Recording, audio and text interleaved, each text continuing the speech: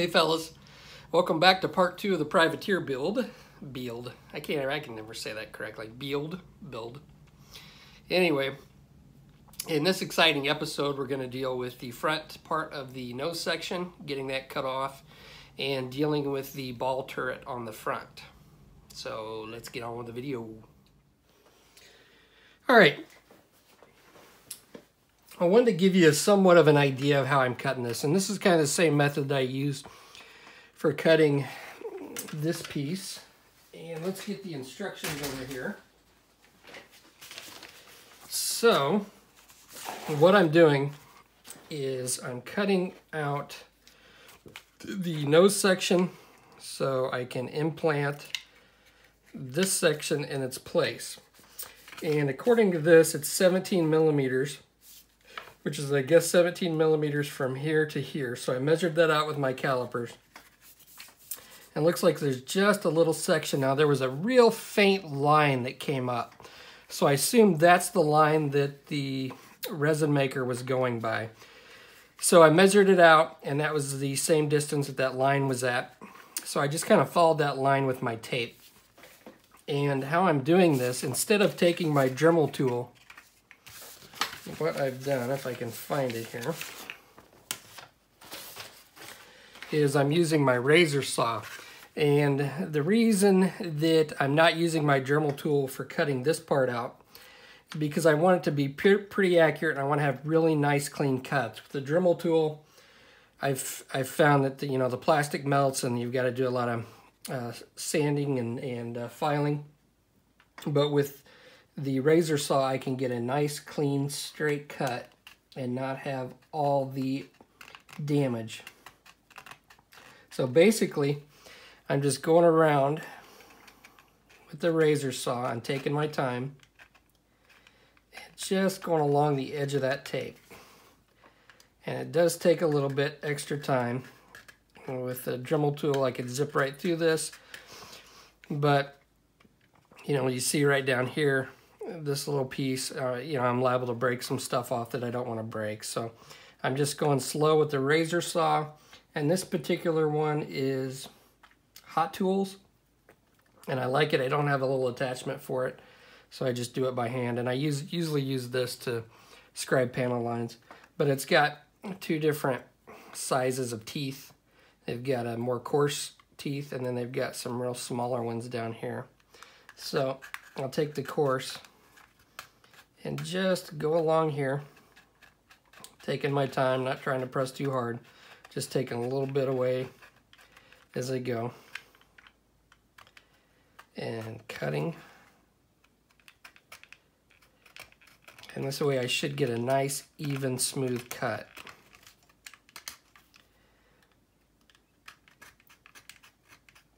with very little filing needed. Since I'm gonna, when I join these, I'm gonna have to fill in anyway. It doesn't have to be perfect, but I wanna, I wanna uh, cause the least amount of damage as possible while cutting these parts.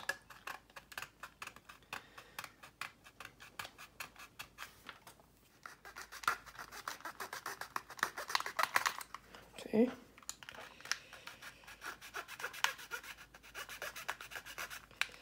Get ready to yell timber, fellas.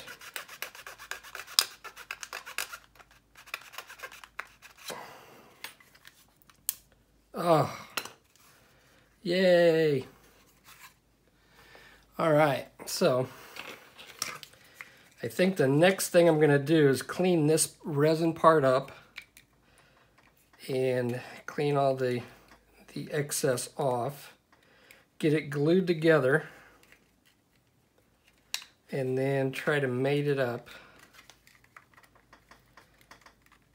Once I get that excess cut off, then I can figure out if I need to cut any more or cut any more off here, and I should be good to go.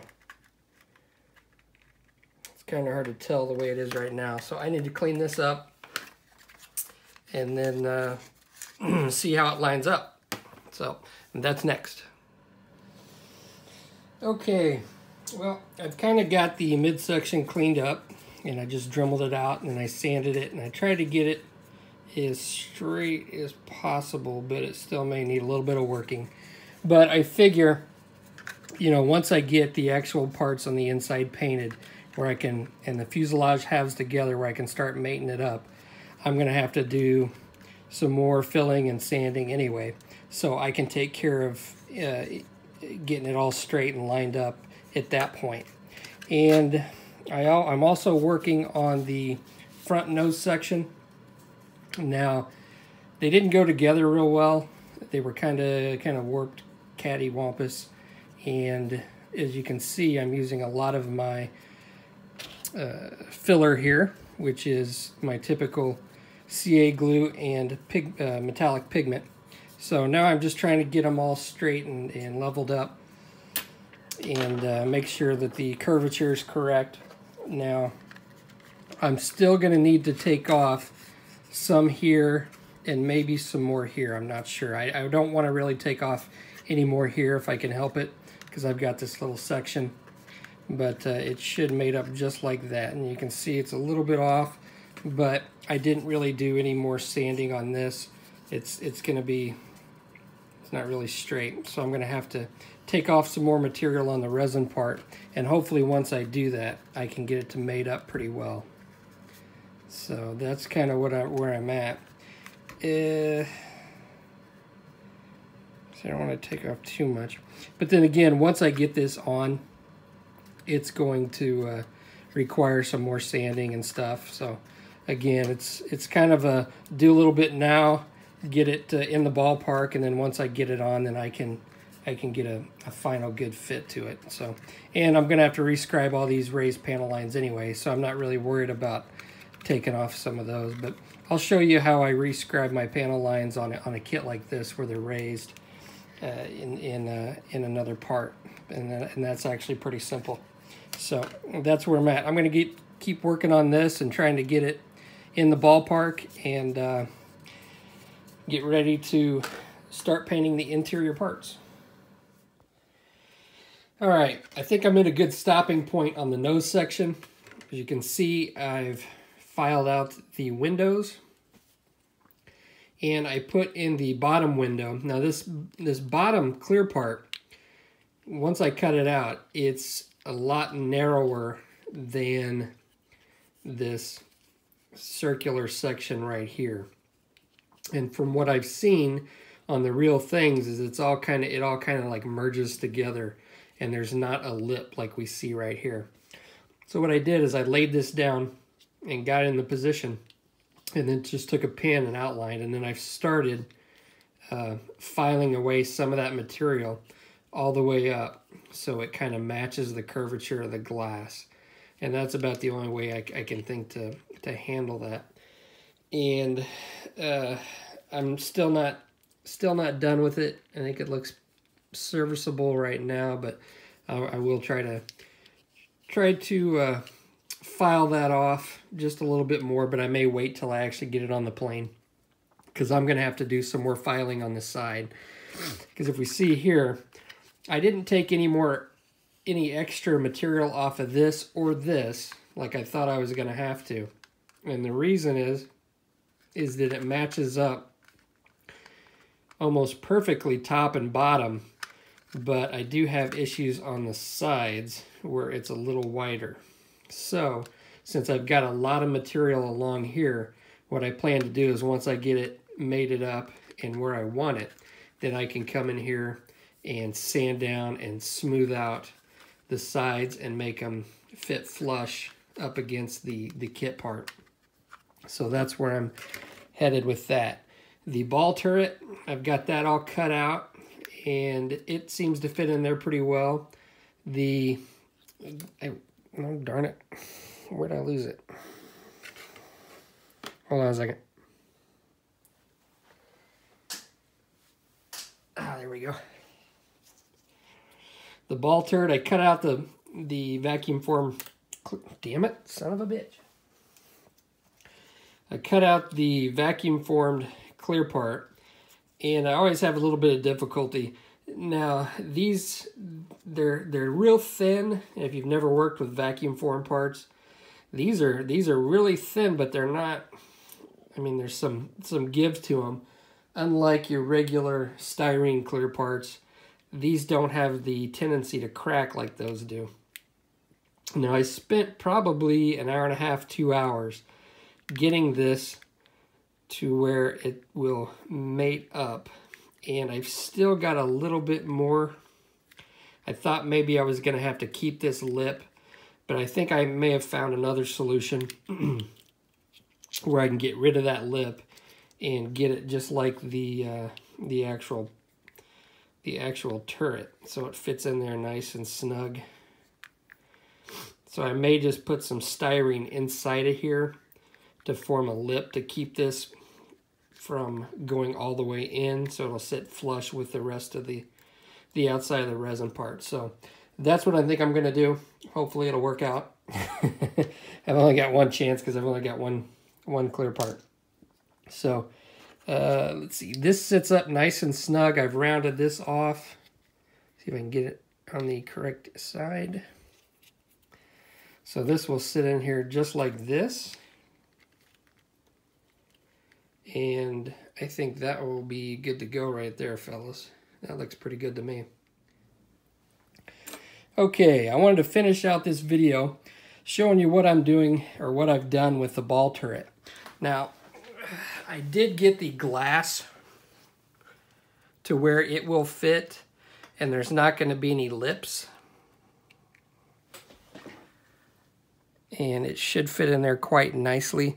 It took a long time and a lot of patience, a lot of careful sanding and filing to get it, but I think it's going to be okay. There might be a couple little spots where I'm going to have to fill in with like Testors glue, like right along here, Testors like window glue, and that'll fill that in pretty nicely, and you're not going to notice any gaps.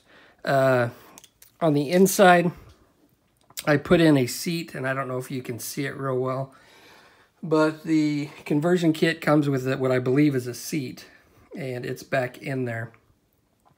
I also took some plastic card and cut some circular shapes, and this kind of acts in, uh, helps keep this from going inside of the, com the uh, compartment there. So it kind of acts as a little lip on the inside to keep my glass where it needs to be. And it also allowed me to mount the kit guns, which I found just a little bit easier to deal with. They're not quite as brittle as the resin. And the holes match up with the holes that I drilled on the, the glass.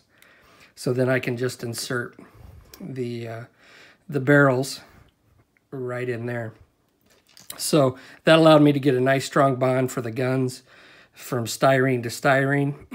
and then I also put just a couple little uh, pieces of plastic card that I kind of cut the shape along the bottom here and along the front to kind of mimic, give you a, a, a somewhat of a representation of some of the pictures that I've seen of the, the turret and to kind of make it look a little busy. I also put in like the, the back part of I don't know, what I believe to be the seat. And I may throw some seat belts in there as well. with So that's uh, that's pretty much it for this, and it uh, fits in here quite nicely. What I'm going to do is I'm going to end up painting all this and uh, painting it the interior green color, I believe. And then uh, hand painting the guns. And I've also got, and I always save clear parts from other kits. And let's see if I can find it here. When I always seem to lose stuff. But I, uh, here it is. What I did is I saved a clear part, or I took a clear part from my uh, leftover sprues from another kit, and I just kind of rounded out this window glass, and that's going to act as this part right here, which I assume is some kind of aiming device. So once I get this painted around the edges, then I'll just put that in and uh, I think that will be adequate for this front turret.